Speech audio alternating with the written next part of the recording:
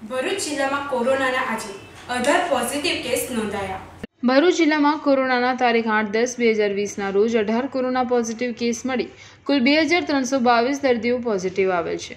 જિલ્લામાં તારીખ આઠ દસ બે હજાર વીસના રોજ ચાર વાગ્યા સુધીમાં કોરોના વાયરસના શંકાસ્પદ દર્દીઓના નવસો ચોસઠ સેમ્પલ લેવામાં આવ્યા છે. ભરૂચ જિલ્લામાં કોરોનાના કુલ બે હજાર ત્રણસો બાવીસ પોઝિટિવ કેસ પૈકી ભરૂચ જિલ્લામાં કુલ ઓગણત્રીસ દર્દીના મરણ થયેલ છે. તથા બે હજાર છોતેર વ્યક્તિઓને સાજા થતાં રજા આપેલ છે. આજરોજ ભરૂચ જિલ્લાના બસો સત્તર વ્યક્તિઓ સારવાર હેઠળ છે.